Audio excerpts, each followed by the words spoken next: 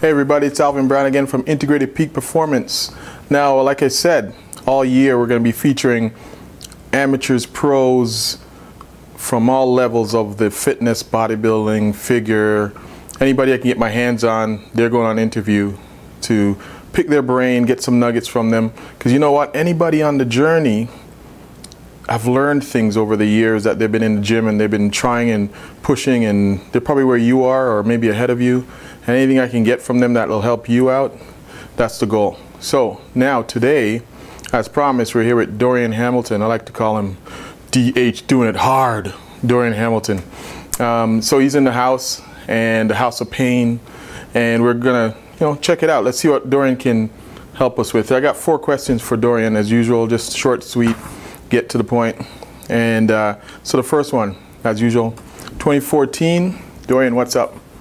Uh, for 2014, um, I'm just going to be doing the Nationals for my second time, um, September 6th. So it's about nine months out. This time around, I'm just trying to stay uh, a little leaner. In the past, I've gotten really out of shape, and I kind of have a hard time dealing with my conditioning. Mm-hmm. So this time, I want to try and stay, you know, within 15 pounds of contest mm-hmm. weight just mm-hmm. ensures for me for me to win. I think I have to be just shredded. Mm-hmm. So I'm gonna try and come in, you know, the best condition I can. Sweet. Okay. It's a focus. Okay. All right. Uh, number two. Now, what changes? What you know? There's a lot of things you can do to come in your target, but uh, what are some focus points for you? You think this year? Some of the focus points, um, like physique wise, um, my body's pretty balanced, but just my back I kind of got to make that bigger and thicker. It's kind of my, my weak body mm-hmm. part. Mm-hmm. Um, and then, like I said, it's the conditioning. You know, mm-hmm. I just got to nail my conditioning, mm-hmm. and then uh, I, I, think I'm good to go. Okay, cool. And now, see, that's the kind of thing where, again, picking the nuggets out, Dorian has a plan. 2014, he's got the goal. The, it's set. That you know, he's got the event that he wants to appear at. It's set, and now he's narrowed it down to a few things that he wants to focus on. So again, that's the key: is I find this sport is a long term, it's a marathon. It's not really a sprint to get anywhere, it's a marathon. So each year you just take your small goals and you hit them, and by the time you're there, it's you know it's game. And every year you'll be changing anyways. So number three, Dorian, uh, it's a long, like I said, it's a marathon. How do you stay motivated? Well, I surround myself with a lot of people who are better than me. So a couple of my training partners are pros. Um, even my other training partners, competitive bodybuilders. So we're all sort of, we all kind of motivate each other, and mm-hmm. we all mm-hmm. kind of push each other, and mm-hmm. you know, it's uh, kind of like a friendly rivalry, and mm-hmm. we're always, uh, yeah. I mean, I think that really helps keep me motivated. Yeah. You know, seeing them, seeing them do well at the shows, and you know, I want to get to where they are, so it mm-hmm. pushes me. Yeah. You know, I'm hungry to get to where they are. Mm-hmm. So. And I'm sure you do, and I've spoke to his training partners, and I'm sure he motivates them too. So it's a two-way street. It's not just him taking; he's actually giving by motivating them. That young, eager energy to get there, it motivates them. So, and then I want you to also step back and look at that other another clue again. Association, who you're associated with. If you're the biggest dog in your pound, and you're not going to grow.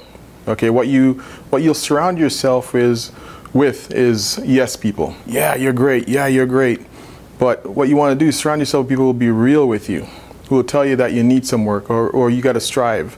So again, the power of association, who you're associating associating yourself with is key to getting you where you want to go. Again, if don't be the biggest dog, don't be the smartest one in your group, don't be the top of the totem pole. You got to sometimes step back and push yourself and motivate yourself that way. So, uh, again, don't miss those nuggets. Number four, when you win this year, whenever it takes, whatever it takes, when you get there, how are you going to be different? How, what message are you going to stand for? Because again, there's a lot of IFBB pros out there, and how do you carve yourself out from all of them? Well, myself, I mean, I've always been really consistent. I've always had a plan. I've always stuck to it. Um, I mean, if you talk to some of my training partners and stuff, they think I'm crazy because if I have something set that I'm following or I don't like to deviate, I like to stick to the plan. I'm really mm-hmm. consistent. Mm-hmm.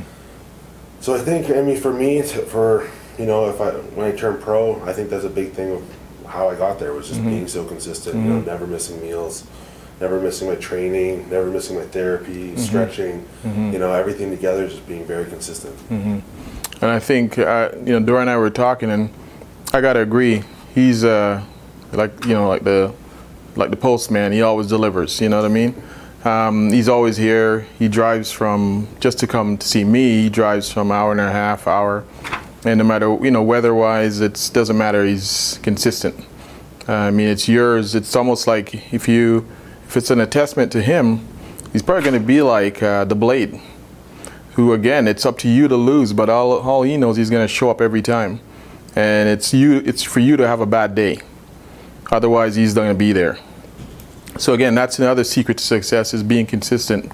And there's you know everybody can be great once twice in their career.